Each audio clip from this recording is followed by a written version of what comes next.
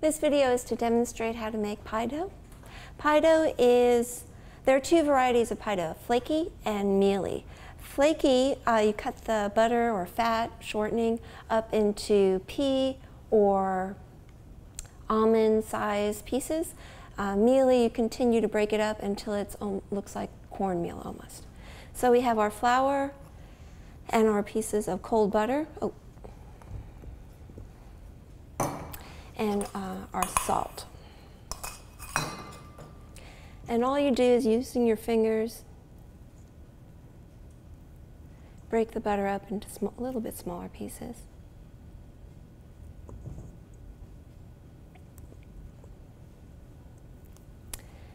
And then once it's there, you toss it with the flour and you just keep breaking it up in the flour.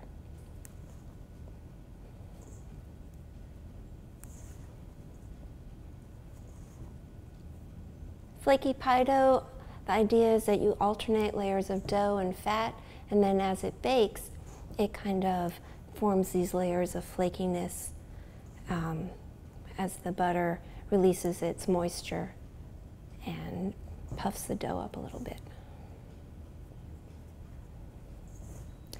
Mealy dough, you would continue to break it down into much smaller pieces, and that, because it more of the flour and butter are mixed, creates a barrier against moisture. So when you have a very moist pie, it's a good idea to use mealy dough, so for fruit pies and so forth.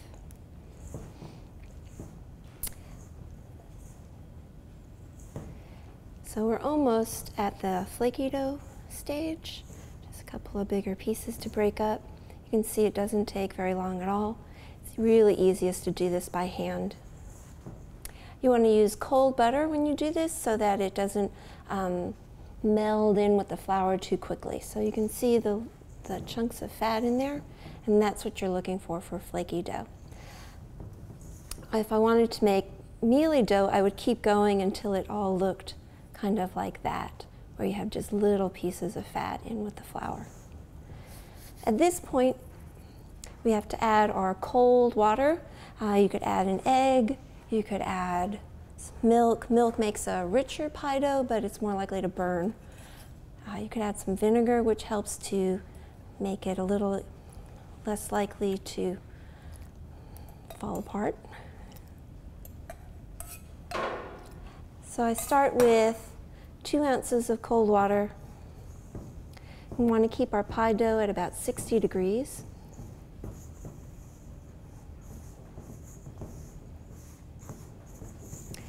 Flaky dough needs a little bit more moisture um, than your mealy dough does. But you don't want it wet. If your pie dough gets wet, um, you're going to develop too much gluten, and that will make a tough pie dough. So I think I'll add a little bit more water, but not much.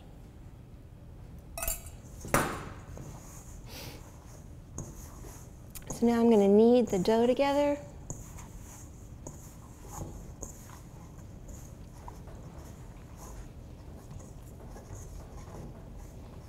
You don't want to knead the dough too much because as you knead, you develop gluten, and gluten, of course, will make a tough pie dough. But you need enough gluten that it'll hold it together and hold the filling.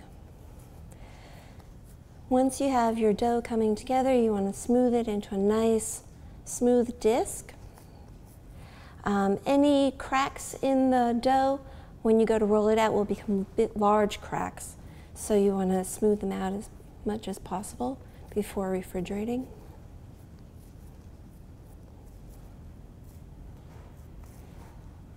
In good flaky dough, you should actually be able to see the chunks of butter in it. You can use shortening for a pie dough, but it doesn't taste as good. Once you have your pie dough in a nice smooth disc, you wrap it in plastic wrap and you refrigerate. You want to refrigerate, refrigerate a minimum of two hours. Can refrigerate overnight up to four days, and you can take it at this point and put it in the freezer for three to four months. The pie dough has had, a time, has had time to chill in the refrigerator, and so we're we unwrap it.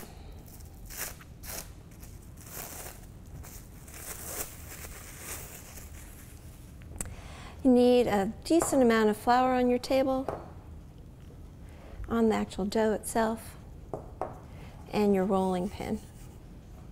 You don't want to put too much flour because then it'll um, make the pie dough too thick, but you need enough so that it won't stick. As you roll the pie dough out, you roll from the center out and keep making quarter turns. As you make turns, make, readjust your flour.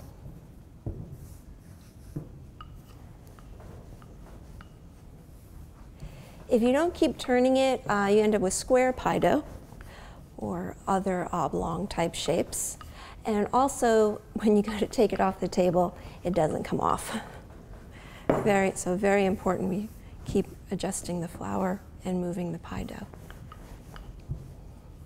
Pie dough should be rolled very thin, 1 8 to 1 16th of an inch.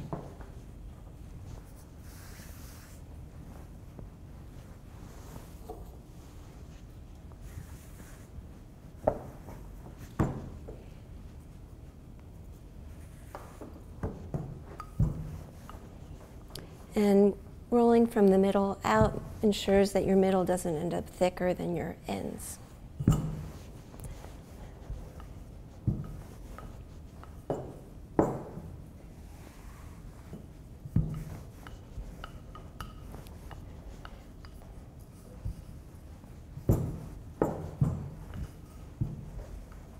So I take my hand and I kind of just go over the dough to make sure that it's even. And then I use my rolling pin to pick the dough up.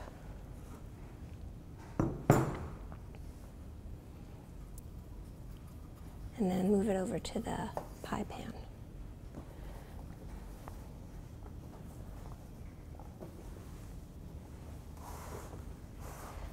All that rolling does activate the gluten a little bit, so you want to let it rest for a minute. And then once it's rested, you're going to trim your edges. And I lift up so I get a nice bit on the ends.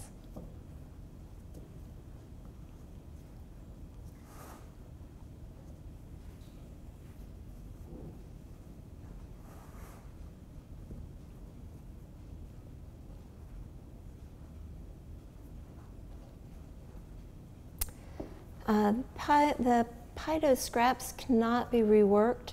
They'll get too tough, but you could use them to cover the top of a cobbler. You can use them to make chicken and dumplings. Uh, you could take them and toss them with cinnamon sugar and bake them as little cookies.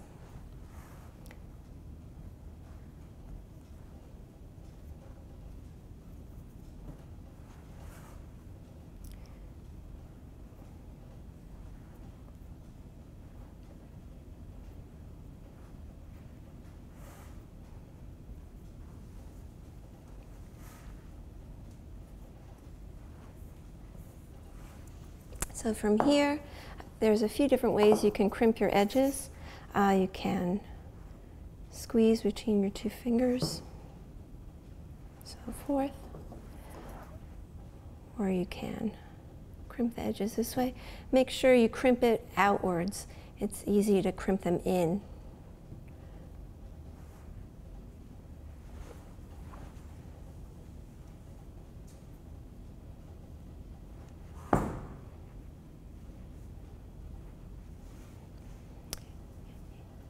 And to make sure you don't have any scraps overhanging because those will fall off in the oven and burn.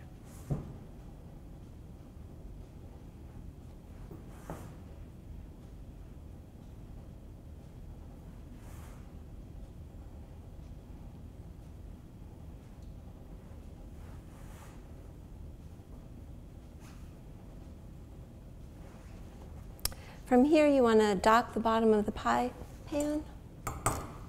You can use a fork or the end of a spoon or a little paring knife. We dock the bottom so it doesn't bubble up in the oven. Now you want to place it in the refrigerator uh, another 20 minutes just to chill it so it won't shrink when you go to bake your pie. Um, and then fill it. Uh, if you were par baking or blind baking your pie. After the 20 minutes, you fill it with foil and then fill it with pie weights or dry beans and bake it until the crust is cooked and take them out. Um, if you're baking it from, if you don't need to blind bake, then you just put your filling in and put it right in the oven and it's ready to go.